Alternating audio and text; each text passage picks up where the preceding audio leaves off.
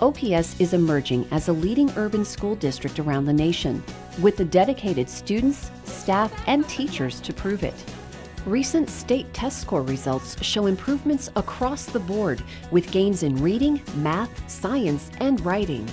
This success isn't from one change, but a combination of effective practices.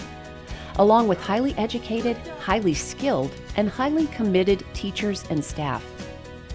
At Alice Buffett Magnet Middle School's STARS program, we're helping students prepare for success Instructors like sixth grade teacher Diane Eubanks spend extra time with kids after school to help them improve their skills in core subject areas. We look at our research and we focus our um, choices um, on the kids that we know that um, are on the bubble and we really want to help and we know we can, we can raise them up.